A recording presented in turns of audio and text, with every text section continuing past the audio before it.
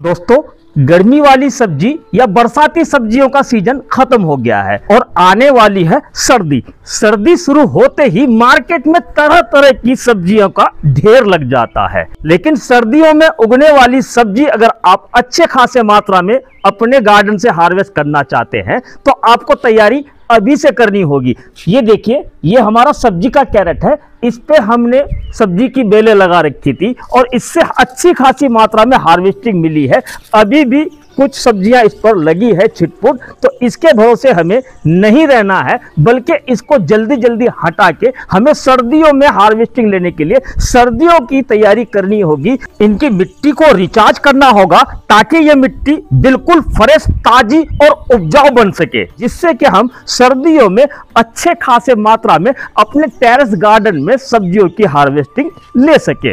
नमस्कार दोस्तों हम और हमारा गार्डन में आपका स्वागत है। दोस्तों अगर आप गार्डनिंग कर रहे हैं तो सिर्फ़ ट्रॉपिकल गार्डनिंग में डिपेंड ना रहें, बल्कि आप कोशिश करें कुछ ना कुछ सब्जियों की बेलें भी अपने गार्डन में ज़रूर ऐड करें। गार्डनिंग का शौक तो पूरा होगा ही होगा। साथ ही साथ आपको एक अच्छी वैरायटी की सब्ज़ी 100 परसेंट ऑर्गेनिक जिसे आप खुद उगाकर अपने हाथों से हार्वेस्टिंग करेंगे तो उसका टेस्ट आपको मार्केट वाली सब्ज़ी में नहीं मिलेगा। इसी टॉपिक पर आज का हमारा वीडियो है, ताकि छोटे छोटे पोट में आप गार्डनिंग करके अपने टेरेस से अच्छे खासे मात्रा में सब्ज़ी की हार्वेस्टिंग ले सके।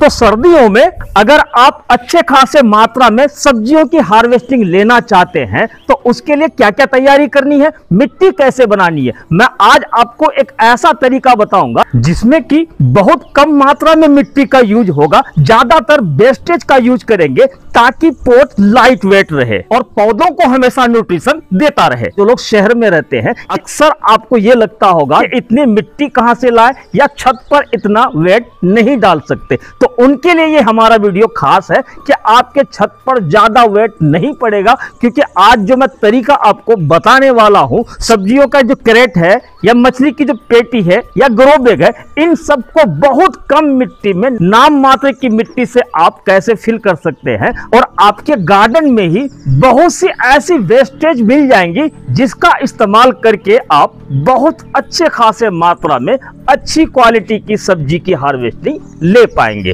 पेटियों को भरने के लिए या गरो बैग भरने के लिए अलग से नई मिट्टी नहीं लानी है। ये देखिए, ये बोरियों में भरी हुई मिट्टी है जिसपे मैंने सब्जियों की बेल लगाई थी। सब्ज़ी खत्म हो गई। इसी मिट्टी को वापस धूप में सुखाकर रिचार्ज करके दोबारा इसी मिट्टी से मैं अपना ये पेटी भरने वाला हूँ। ये दो सब्ज़ी की कैरेट भी हमारी खाली हो चुकी है। इस पर हमने मिर्च का पौधा लगा रखा था। इसकी मिट्टी भी पलट के रिचार्ज कर लूँगा। ये मिट्टी भी बहुत अच्छी मिट्टी है। तो सबसे पहले मैं इन बोरियों की मिट्टी को पलट के खाली कर देता हूँ। जितनी भी बोरी है या जितने भी पोट खाली हुआ है, इस तरह की जो सब्ज़ी की जो ट्रे खाली हुई है, जो भी चीज़ें हमारे पास खाली हुआ है, उन सब की मिट्टी को इस तरह से पलट के फैला देना है और दो दिन के लिए अच्छी तरह से इसे धूप दिखा देना है ताकि इसमें मौजूद जितने भी फंगस है, वो सब खत्म हो जाए और जब आप धूप दिखाएँगे तो इसमें जितनी भी जड़ें हैं, वो सारी जड़ें बाहर आ जाएँगी। सारी बोरियों की मिट्टी हमने पलट लिया है यहाँ पर और पलटने के बाद अब इसे चारों तरफ़ फैला देना है। इस तरह से आप फैलाएँ ताकि ये मिट्टी अच्छी तरह से सूख जाए। तो दो दिन के लिए हमें इस मिट्टी को यहाँ पर फैला के छोड़ना है ताकि मिट्टी अच्छी तरह से सूख जाए। उसके बाद जब मिट्टी सूख जाएगी तो इनमें जितने भी जड़ें हैं जो हमारी सब्जियों की बेलें थी, इन सारे जड़ों को हमें अलग कर लेना है। और इधर मैं आपको दिखाऊँ तो यहाँ पर हमने पत्ते सूखने के लिए छोड़ा हुआ है। पत्ते सूख जाएँगे तो हमारा ये भी इसको फिल करने में काम आएगा। इसके अलावा बोरियों में हमने पत्ते भर भर के रखा हुआ है। इसे भी सुखा लेता हूँ। और पूरे साल मैं अपने गार्डन से निकला हुआ कचरा या गार्डन से निकला हुआ पत्तों को इस तरह से बोरियों में भर के रख देता हूँ, ताकि हमें जब भी ग्रो बैग भरना हो या इस तरह से थर्मोकोल की पेटियों को भरना हो तो कोई दिक्कत ना हो। ये देखिए, बोरियों में मैंने सब्ज़ी की बेलों को भी ठूस ठूस के भर रखा है तो इसे भी बोरियों से वापस बाहर निकाल कर अच्छी तरह से सुखा लेता हूँ। ये देखिए, दो दिन धूप दिखाने के बाद हमारी मिट्टी सूख गई है, और इन दो दिनों में मिट्टी को इधर उधर चला के पलट पलट के हमने अच्छी तरह से सुखा लिया है। और इसी मिट्टी से ये इतनी सारी सब्जियों की, बेलों की जड़ें निकली है, इसे हमने छाट के अलग कर दिया है। ये जो पत्तों को मैंने सूखने के लिए डाला था पत्ते भी पूरी तरह से सूख चुका है, सब्ज़ी की बेलें सूख चुकी है। अब प्रोसेस हमारा शुरू होता है इसमें कंपोस्ट मिलाने का। कंपोस्ट के लिए मैं यूज़ करने वाला हूँ गोबर की खाद। सब्जियों की बेलें अगर आप लगाना चाहते हैं, या जिस तरह की भी सब्ज़ी लगाना चाहते हैं, गोभी हो, गाजर हो, मूली हो, सलजम हो, धनिया हो, पुदीना हो, मेथी हो, हर तरह की सब्ज़ी के लिए गोबर की खाद बेस्ट खाद होता है।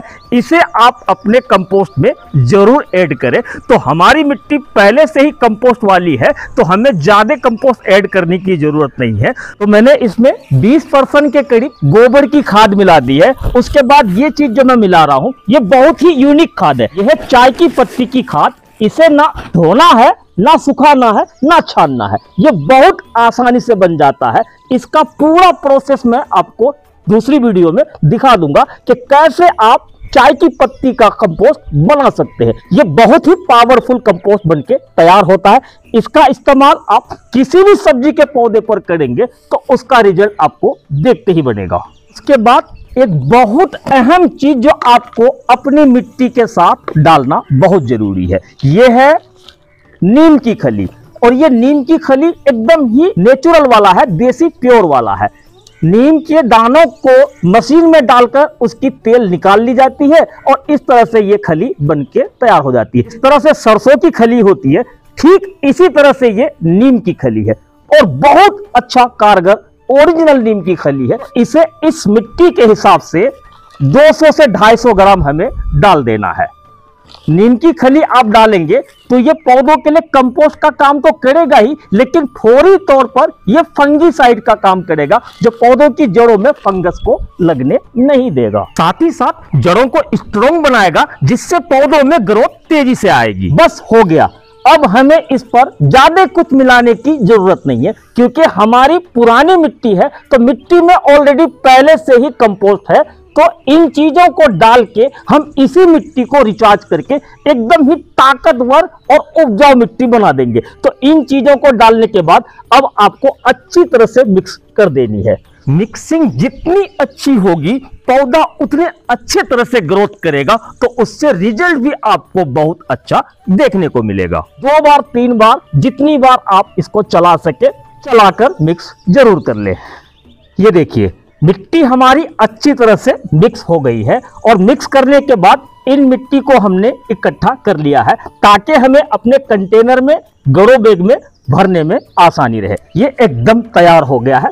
परफेक्ट मिट्टी का स्ट्रक्चर से ही पता चल रहा है कि कितनी भूरभूरी मिट्टी है और ये मिट्टी सिर्फ़ भूरभूरी नहीं है, बल्कि न्यूट्रिशन से भी भरपूर है। मिट्टी को देख के आप यही सोच रहे होंगे कि हमने इतने कम मात्रा में कंपोस्ट मिलाया है तो इसमें सब्ज़ी अच्छे ग्रो नहीं होगी। लेकिन आप इस बात का अंदाज़ा तभी लगा पाएँगे जब इस तरह की मिट्टी बनाकर आप सब्जियों के पौधों को ग्रो करेंगे। अब हमारे पास सारी चीज़ें तैयार है। मिट्टी तैयार हो गई, हमारे कंटेनर यहाँ तैयार है, पत्ते सूख चुके हैं, सब्जियों की बेलें सूख चुकी है। ट्रे के नीचे या कंटेनर के नीचे हमने ईट लगा दी है। अब इस पर इन मिट्टी को फिल करना है। तो ये चीज़ बहुत इंपॉर्टेंट होगा कि किस तरह से आप कम से कम मिट्टी में अपने कंटेनर को या गरो बैग को फिल करेंगे, जिसकी वेट एकदम ही कम होगी। लेकिन उपजाऊ इतना अच्छा होगा कि आप सब्जियों को तोड़ते तोड़ते थक जाएँगे। सबसे पहले मैं इस मछली की पेटी जो थार्मोकोल से बनी है, नीचे हमने ड्रेनेज होल कर लिए हैं और इसके बेस में हमने ईटें लगा दी है। तो इस पर सबसे पहले मैं एक इंच इसकी पतली लेयर इस मिट्टी की बिछा दूँगा। हमें इसके ड्रेनेज होल पर कोई टिपरी रखने की ज़रूरत नहीं है। एक इंच हमने इस पे इस मिट्टी की लेयर बिछा दी। उसके बाद हमें अपने गार्डन का वेस्टेज को इसके अंदर डालना है, चाहे वो सूखे पत्ते हो या सब्ज़ी की बेले हो। मैंने ये सुखा के रेडी रखा है तो इन्हीं को मैं इसके ऊपर भरने वाला हूँ। और मैक्सिमम इन सूखे पत्तों से ही मैं अपने पेटी को भरने वाला हूँ। इनमें अगर प्लास्टिक की कुछ चीज़ हो तो उसे आप बाहर ज़रूर निकाल दें। इसका 70 परसेंट, यानी कि मैक्सिमम आपको सूखे पत्तों से या सूखी हुई सब्ज़ी की बेलों से इस कंटेनर को भरना है। इसी तरह मैं इन सब्ज़ी की कैरेट को भी भर लेता हूँ। इससे पहले भी मैंने इस पे सब्ज़ियाँ ग्रो करके रखा था, जिसकी मिट्टी मैंने पलटते हुए आपको दिखाई थी। ये देखिए, मैक्सिमम हमने इस मछली के पोट को सूखे पत्तों से या गार्डन के कचरों से भर दिया है। इसको भी इसी तरह से किया है। यानी कि सभी डब्बों को, सभी कंटेनर को हमने मैक्सिमम सूखे पत्तों से भर दिया है। इसी तरह से आप गरो बैग को भी फिल कर सकते हैं। मैं गरो बैग का इस्तेमाल नहीं करता हूँ। जिन चीज़ों का मैं इस्तेमाल करता हूँ, वो चीज़ें आपको दिखा रहा हूँ। अब मैं इसके ऊपर बाकी बची हुई जगहों पर मिट्टी फिल कर देता हूँ, जो मिट्टी हमने अभी बनाई थी। और इसी तरह से सभी कंटेनर में, सभी ग्रो बैग में, या वो जितने डब्बे हैं, प्लास्टिक की बाल्टी हो, टूटा हुआ कंटेनर हो, नहीं कुछ है तो प्लास्टिक की बोरियों को, जिन जिन में आपको सब्ज़ी की बेलें लगानी है या सब्ज़ी के पौधे लगाने, सभी तरह के ड्रम पोट डब्बे ग्रो बैग भर सकते हैं। हमने इन पेटियों को भरने के लिए सिर्फ़ 30 परसेंट मिट्टी का यूज़ किया है, यानी कि 30 percent effort 30 percent load. 70 percent weight हमने कम कर दिया और हमने पत्तों से भरा है तो धीरे धीरे जब ये डिकम्पोज होगा तो हमारे पौधों में जो ग्रोथ आएगी, उसमें जो फ्रूटिंग होगा, वो आपको देखते ही बनेगा। तो इस तरह से हमने सारी पेटियों को भर दिया है। इस पर अब जो चीज़ लगाएँगे किसी भी तरह की सब्ज़ी इंडिया में जितने प्रकार की सब्ज़ी होती है, कोई भी सब्ज़ी इस पर लगा देंगे तो वो पौधा बहुत तेज़ी से ग्रोथ करेगा और उस पर इतने ज़्यादा मात्रा में फल लगेंगे कि आप पड़ोसियों को बांटते ही फिरेंगे। अब एक बहुत ज़रूरी और इंपॉर्टेंट पॉइंट आपने मिट्टी बहुत अच्छी तरीके से बनाई कंपोस्ट महँगे से महँगा मिलाया, ज़्यादा से ज़्यादा मात्रा में आपने खाद भी डाल ली। लेकिन अच्छी मात्रा में अगर आपको सब्जियों की या फलों की, यानी कि आपको अपने गार्डन से अच्छा रिज़ल्ट लेना है तो अच्छी क्वालिटी की बीज का होना बहुत ज़रूरी है। वरना आप कितना भी मेहनत कर ले, कितने भी खाद डाल दे, कितना हो केयर कर ले, बीज अच्छी क्वालिटी की नहीं होगी तो आप अच्छे रिज़ल्ट नहीं ले पाएँगे। चाहे आप एक गार्डनर हो या कोई फार्मर इस बात को आप ध्यान में ज़रूर रखें। ये देखिए, मैंने अपने लिए सब्जियों की बीज मंगवा रखी है। इसमें इतनी सारी सब्ज़ी की वैरायटी है कि जो भी सब्ज़ी खोजेंगे, वो सारी सब्जियों के बीज इसमें आपको मिल जाएँगे। चाहे कद्दू हो, लौकी हो, खीरा हो, पालक हो, धनिया हो, मूली हो, सलजम हो, गाजर हो। तो ये बीज हमने कहाँ से मंगवाए हैं? ये बीज सस्ते बीज नहीं है। ये सारे बीज अच्छी क्वालिटी की और हाईब्रिड वैरायटी के बीज है और इन बीजों में उपज की क्षमता अधिक होती है। बड़े बड़े फार्मर इसी तरह से हाई क्वालिटी की बीज अपने फार्म में ग्रो करते हैं, जिससे कि पूरे शहर में हमेशा सब्ज़ी की सप्लाई वो कर पाते हैं। लेकिन इन बीजों की कॉस्ट बहुत हाई होती है। जो एक गार्डनर एफर्ट नहीं कर पाएगा, उन्हीं बीजों की ये छोटे छोटे पैकेट हैं। ये बीज हमने मंगवाए हैं राजीव किचन गार्डनिंग जो कानपुर के हैं।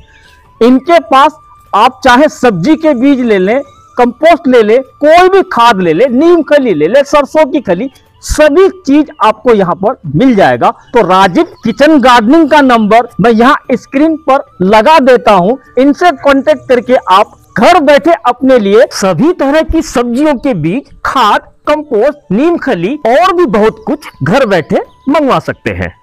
तो दोस्तों, आज के लिए बस इतना ही। हमारे द्वारा दी गई जानकारी अगर आपको अच्छी लगी हो तो वीडियो को लाइक करके कमेंट करना ना भूले। और हाँ वीडियो अगर अच्छी लगी हो तो वीडियो को शेयर भी कर दें। जो लोग अभी तक हमारा ये चैनल सब्सक्राइब नहीं किए हैं, वो चैनल को सब्सक्राइब करके बेल आइकन को ऑल पे कर लें, ताकि आने वाले वीडियोस के नोटिफिकेशन आपको मिलती रहे। तो मिलते हैं। इसी तरह की पेड़ पौधों से जुड़ी जानकारी लेकर तब तक के लिए हमें दीजिए इजाज़त।